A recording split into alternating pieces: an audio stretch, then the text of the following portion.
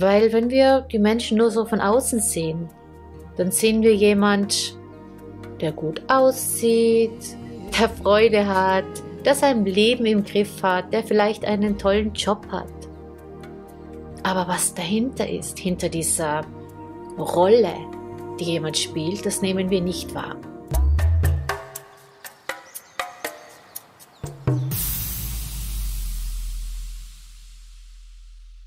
Hallo und herzlich willkommen, liebe Mitmenschen, zu meinem heutigen Video, wo ich über Privatsphäre nachdenke. Ich hatte vor fünf Tagen ein Erlebnis, also mir hat ein Hund hier ähm, zweieinhalb Zentimeter rausgebissen und habe dann einen kleinen Clip gepostet an dem Tag, äh, habe den wieder rausgegeben und habe dann zwei Tage später ein längeres, ein sehr langes Video gepostet, wo ich den ganzen Zusammenhang erkläre und habe dies unter den Titel Die Heilkraft des Gebets oder des Betens gestellt. Meine Intention war natürlich zu zeigen, welche Heilkraft Gebete haben, Segnungen, Energien von anderen Menschen, wenn alle, alles zusammenkommt.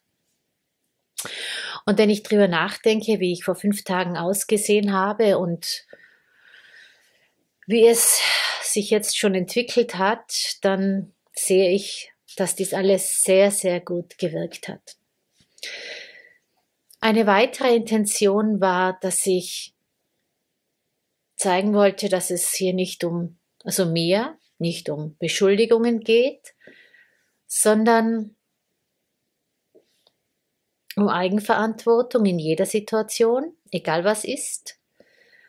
Und auch ähm, darum, dass ähm, wenn jemand einen Hund beißt, das nicht bedeutet, dass der Hund böse oder gefährlich ist. Und ja, und natürlich war es ein sehr persönliches Video, wo ich mich extremst verletzlich und auch körperlich verletzt gezeigt habe. Und es ist für mich immer noch stimmig, dass ich es online gestellt habe. Doch ich denke jetzt sehr viel nach über Privatsphäre. Es hat eine Frage gegeben aus meinem Umfeld, was war denn der Grund, dass du es eingestellt hast? Und diese, hat, diese Frage hat sehr viele Gedanken ausgelöst. Also ich selbst habe das auch schon erzählt. Ich habe sehr viel in meinem Leben Heilung erfahren oder Hilfe durch Menschen. Früher waren es eben vorwiegend in Büchern, jetzt ist sehr viel in Videos, wo Menschen ihre Geschichten geteilt haben. Also ich hatte ja eben diese Essstörung als junger Mensch und ich war ja nicht extrem übergewichtig, auch nicht äh, abgemagert, sondern ich war so wie jetzt und hatte höchstens fünf bis sieben Kilo Schwankungen und habe mich aber wirklich unglaublich schlecht gefühlt, auch optisch. Und ich weiß noch genau, damals Susan Pauter, die war in den 90er Jahren sehr populär mit ihrem Buch Ohne Diät geht's auch. Ohne Diät geht's auch. Und ich habe das damals siebenmal gelesen.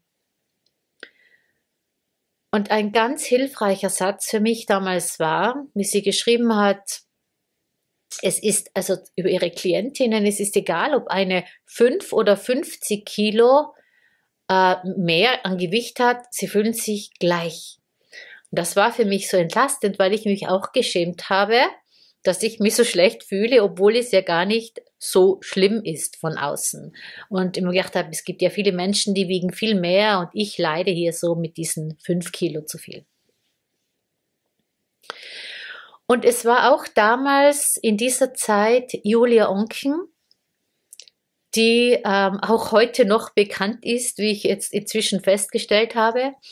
Ich habe einmal gesagt, die war damals so populär, aber Äh, sie ist immer noch eine bekannte Psychologin. Und die hat ja in ihren Büchern auch immer ihre Geschichten erzählt. Ihre eigenen Geschichten. Und das heißt, sie hat ja auch dann was überzählt über ihren Ehemann. Also sie war ja gar nicht so anonym, wie ich das jetzt war, sondern sie hat, man hat gewusst, okay, das ist ihr Ehemann, das ist ihre Tochter, das ist wer auch immer. Also war es auch damals bei Susan Pauter, ohne Diät geht's auch. Die hat auch die Geschichte von ihren Eltern, Ehemann, allen erzählt. Und ähm, auch ein ganz wichtiges Buch für mich war 2010, 11, als ich The Journey von Brandon Bass gelesen habe, die auch ihre Geschichte erzählt. Und man weiß dann auch, okay, der Ehemann oder dieser Mensch in ihrem Leben, der Vater, man kennt die ganzen Geschichten. Und das hat mir unglaublich viel gegeben, das so zu hören. Wenn Menschen sich öffnen und ihre Geschichte erzählen,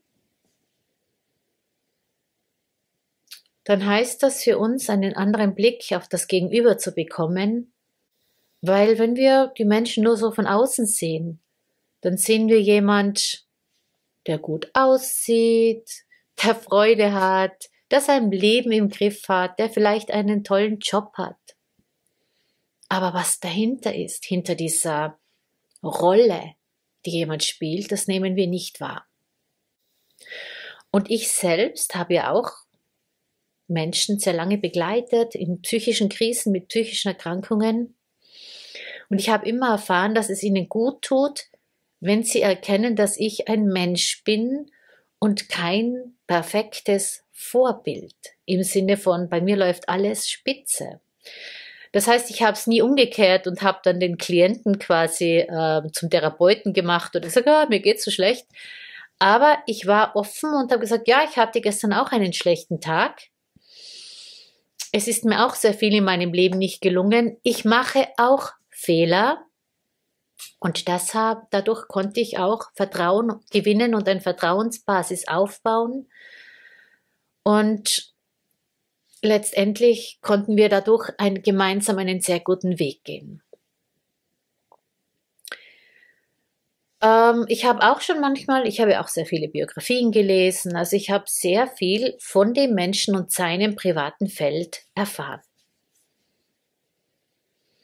Und jetzt gibt es ja dann immer, wenn man selbst was erzählt, das eigene Umfeld, das dann meist schon weiß, von wem man gerade spricht. Ja, und das kann dann schon sein, dass das für den oder diejenige nicht so angenehm ist oder sich dieser Mensch nicht damit wohlfühlt.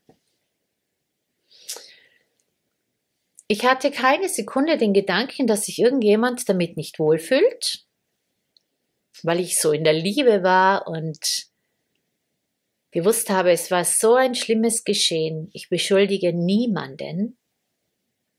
Ich gehe in die Eigenverantwortung ich möchte zeigen, dass man so mit einer solchen Situation umgehen kann. Das war meine Intention. Aber trotzdem hat diese Frage ähm, in mir ausgelöst, da noch einmal tiefer hineinzudenken. Ist das auch nur, weil ich das mein Leben lang gewohnt war oder wir es gewohnt sind, es üblich sind, dass ich gar nicht den Gedanken hatte, vielleicht könnte es irgendjemand ähm, nicht gefallen? Wie sehr würde mich das beeinflussen, dieser Gedanke? Was ist die Grundlage meiner Entscheidungen? Ähm, etwas zu tun, etwas preiszugeben. Meine Intention ist es auf jeden Fall, so vielen Menschen wie möglich zu helfen. Und ich glaube auch, dass ähm,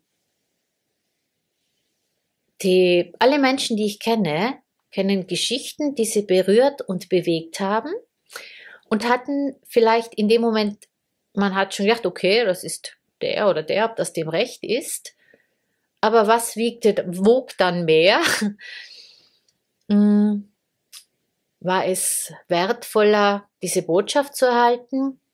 Oder das Mitgefühl mit dem Menschen, der jetzt vielleicht von jemand anderen, dessen Geschichte auch mit veröffentlicht wurde. Und auch hier möchte ich das jetzt nicht bewerten. Ich möchte einfach mal den Gedanken auch ins Feld geben und auch mir selber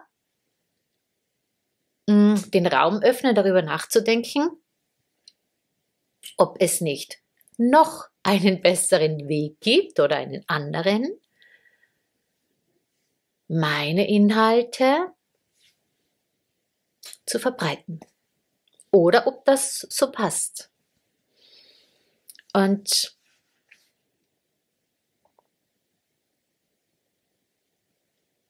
es gibt ja dieses Sprichwort, was du nicht willst, dass man dir tut, das füge auch keinem anderen zu. Das habe ich sehr lange, sehr gut gefunden. Bis, und ähm, in dem Fall würde, kann ich sofort sagen, ja, wäre für mich okay. Also wenn jemand so über mich spricht in einem Video, so anonym und so wertschätzend, für mich kein Thema. Sofort, jederzeit kann ich mit einem klaren Ja beantworten.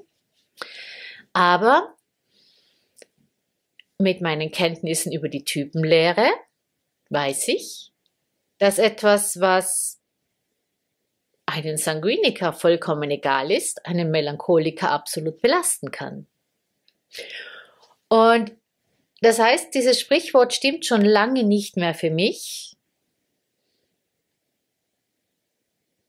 Es, auch wenn es ähm, mal eine, keine schlechte Basis ist, aber es stimmt nicht.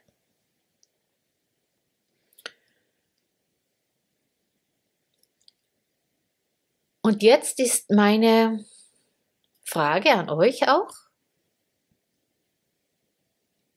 Was denkt ihr oder wie empfindet ihr es? Wie weit geht die Verantwortung des Menschen, der einen Weg geht?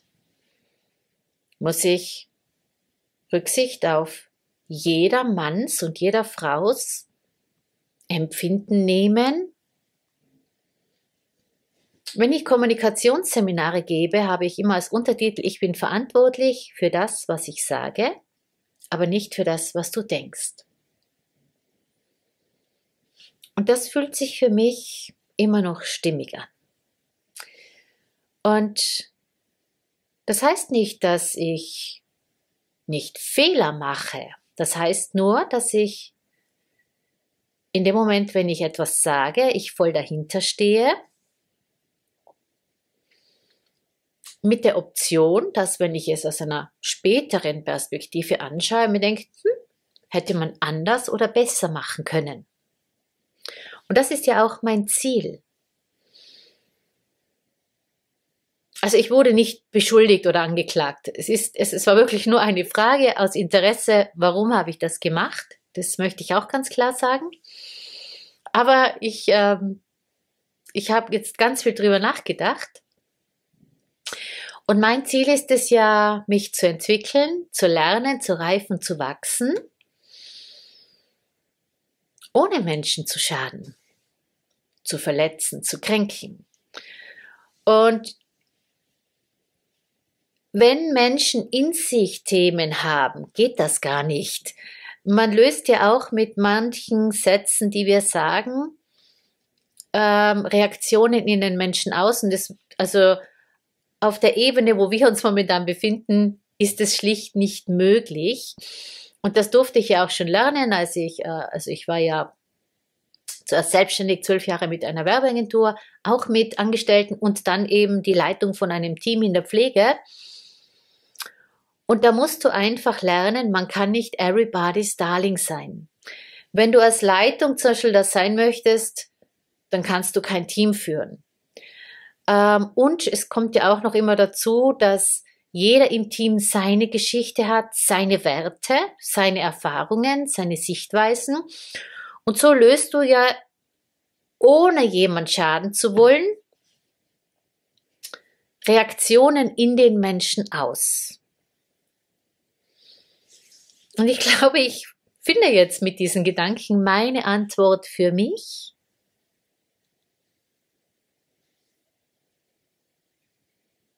Dass ich bei mir bleibe, bei dem, was ich tue, sage, wie ich handle und bereit bin, wenn dann jemand anderer das Gefühl hat, ähm, deine Handlungsweise hat in mir etwas ausgelöst, dass ich dich nicht mehr mag oder dass ich dir einen Vorwurf mache oder dass ich ähm, nicht mehr mit dir einen Weg gehen möchte,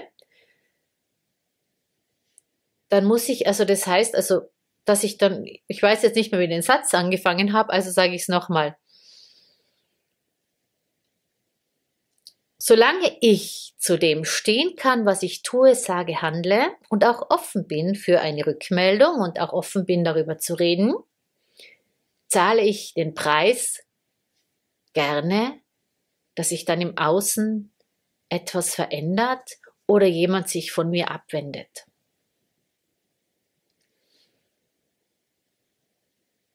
Ich glaube, das ist jetzt gerade für mich eine stimmige Lösung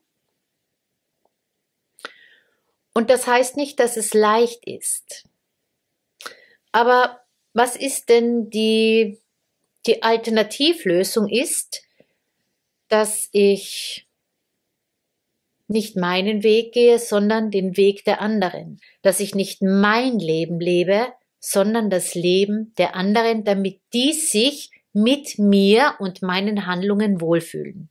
Ich habe schon einmal ein äh, Video aufgenommen, das passiert, wenn du dich veränderst, wo ich auch schon diese Themen angesprochen habe. Wenn du deinen inneren Weg gehst und zu dir stehst, wirst du erleben, dass im Außen nicht jeder damit zufrieden ist, ähm, weil die eigene Veränderung oder der eigene Weg unabhängig von, von den anderen bedeutet immer, dass, oder wenn du etwas veränderst oder anders machst, bedeutet immer auch für die anderen automatisch mit eine Veränderung. Und ja, das möchte ich euch gerne empfehlen. Ich verlinke es euch oben. Und ja, ich würde mich sehr freuen, wenn ihr mir zu dieser Frage, zu diesem Thema eure Gedanken schenkt. In diesem Sinne wünsche ich euch wie immer alles, alles Liebe, dass ihr bei euch bleibt und gleichzeitig offen seid. Eure Mel. Mit einem noch schiefen Lächeln. Ich hoffe, das wird wieder. Tschüss.